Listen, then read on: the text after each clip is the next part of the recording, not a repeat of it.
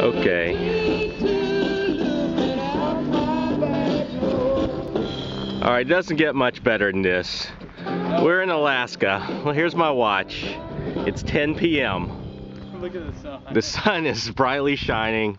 We're here fishing off the bank, catching the heck out of some chum salmon.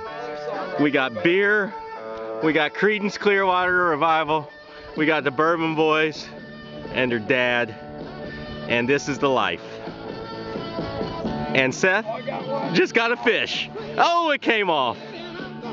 That's on camera, Seth. That's embarrassing. Hey, they're out there.